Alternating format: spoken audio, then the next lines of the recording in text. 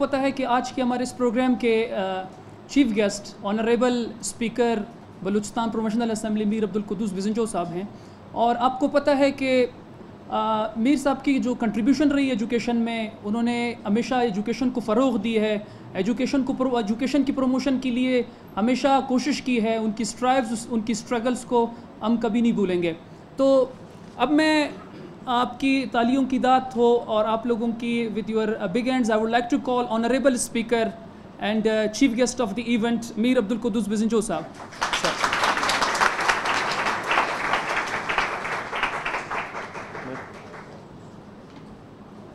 بسم اللہ الرحمن الرحیم محمد نصلی اللہ رسول الکریم اما بعد اساتذہ کرام اسٹوڈنٹس اور میڈیا کے تمام دوست اور باقی تمام حاضرین، السلام علیکم.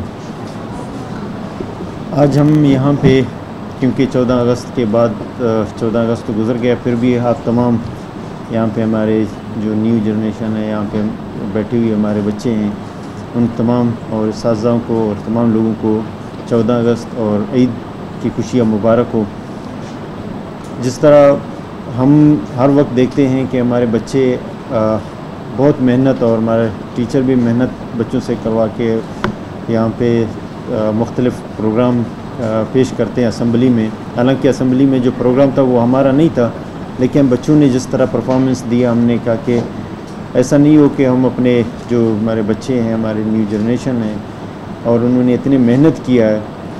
ہم ان کو بالکل پوچھتے نہیں ہیں اور یہ دیکھتے نہیں کہ انہوں نے کتنی محنت کے بعد یہاں آئیں اور اس دفعہ مجھے احساس اس لیے زیادہ ہوا کہ عید کی چھٹیاں چھٹیاں بھی تھے اور باقی لوگ شاپنگوں میں اور اپنے عید کی خوشیاں اور لوگ گھروں میں اپنے فیملیز کے ساتھ منا رہے تھے، لیکن ہمارے بچے ہمارے ساتھ یہاں چودہ اگست کے حوالے سے عید کے تیسرے دن اور اس سے پہلے بھی جو تیاری ہے، بہت مشکل مراحل سے گزر کر انہوں نے سارا ٹائم اسی میں، انہوں نے فوکس اسی میں دیا۔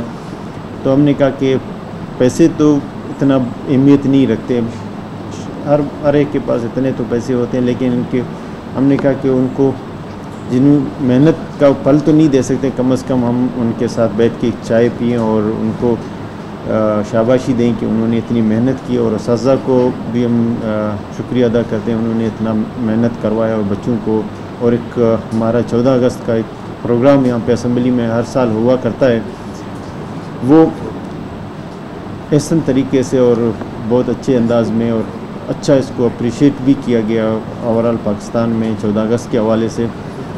تو ہم نے کہا کہ ہم آپ کے ساتھ بیٹھیں اور چائے پئیں اور آپ کے جو محنت کا پل تو نہیں دے سکتے، ہم نے کہا ہم اپنا کنٹریبیوشن آپ لوگوں کے ساتھ رکھیں کہ ہم ہم آپ کے ساتھ ہیں۔ اور یہ جو ہمارے بچے ہیں اور انہوں نے مستقبل میں آگے، آج ہم ہیں، کل انہوں نے آ کے سنبھالنا ہے۔ یہ ملک ہمیں ملی ہے بہت محنتوں کے بعد، بہت قربانیوں کے بعد ہم نے اس ملک میں اس ملک کو ہم نے سنبھالنا ہے، آگے آپ لوگوں نے سنبھالا ہے۔ پتہ نہیں ہم کتنے ٹائم رہے، نہیں رہے، یا ہمارے مستقبل آپ ہیں۔ پتہ نہیں بچے، کتنے بچے یہاں پہ میں ایک آپ لوگوں کے ساتھ ہے، آگے پولیٹیشین بننا چاہتے ہیں۔ ہے کسی کو؟ نہیں بننا چاہتے ہیں؟ کیوں؟ ہاں؟ بننا چاہتے ہیں؟ ہاں؟ بتائیں کیوں بننا چاہتے ہیں؟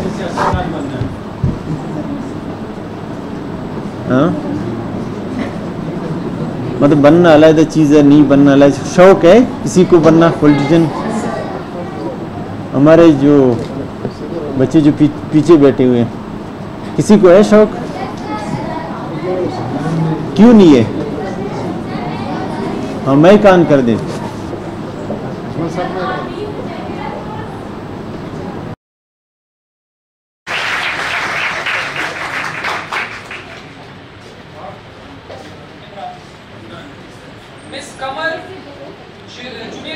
گورنمنٹ سی جی ایسنی quota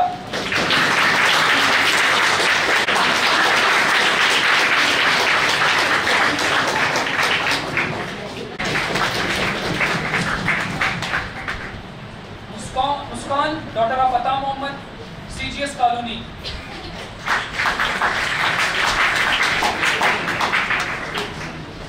Afsa daughter of Fayyaz C G S colony Shabana doctor Afaz Sher Muhammad government Wells high school senior college Nisha doctor of Sultan Najeeb Tariq daughter of Muhammad Saleh government girls high school C G S colony